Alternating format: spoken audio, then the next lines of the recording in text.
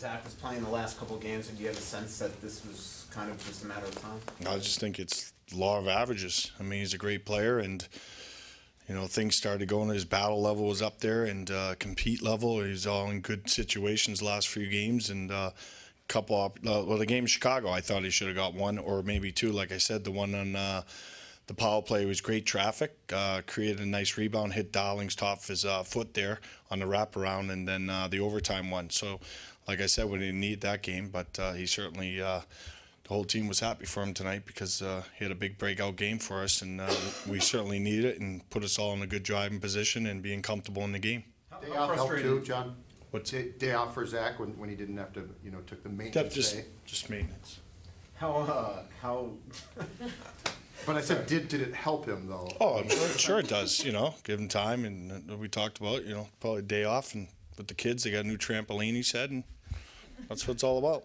Thanks. do you, you start giving him days off now between games? I mean, uh, No, I just think that I, I think that our team should be uh, detailed enough, and uh, we give them film there uh, to prep for the game. I think that uh, we've got to keep our energy for our, our pace, our speed, and playing fast, uh, and having shorter shifts to keep our game because we play a fast game and. We need that energy. Uh, you know, we can't be on the ice uh, spending 45 minutes talking about drills. We can talk about it through film, and we did a good job with our neutral zone. We spent time on that. We spent time on our uh, face-offs and uh, being a little more detailed on our exits. And uh, just we got we got to improve in a couple more areas. We got to talk better. We don't talk enough on the ice with our puck support. And that will lead to better puck possession. So that's a definitely identity with our team moving forward that we have to do a better job with. What do you think about the ruling that uh, Spurgeon's last goal was unassisted? I, you know, I, I don't get involved in that.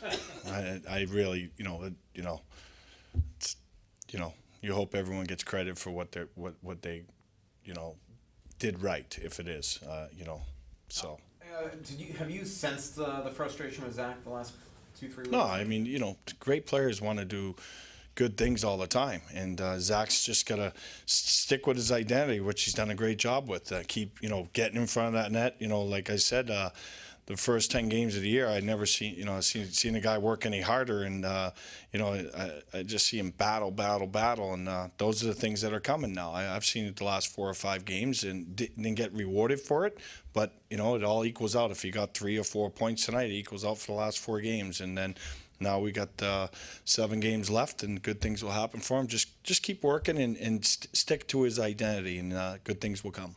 Did you consciously uh, tell the team not to look ahead to the Colorado game? As you mentioned. Oh, we're not worried about. Uh, we, now we look forward. This game's over. Did a great job. I, I said focus. You know, this might come down to the last period of the last game of the year.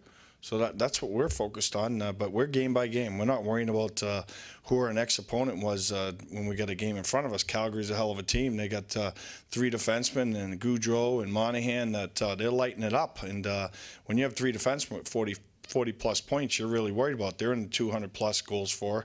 So, uh, you know, and their power play's been clicking. Uh, they've been uh, at 20, 24%, I think, and their PK was at uh, 91%. So those are all tangibles we got to focus on. And uh, I haven't, I haven't even thought about the Colorado game until tomorrow morning.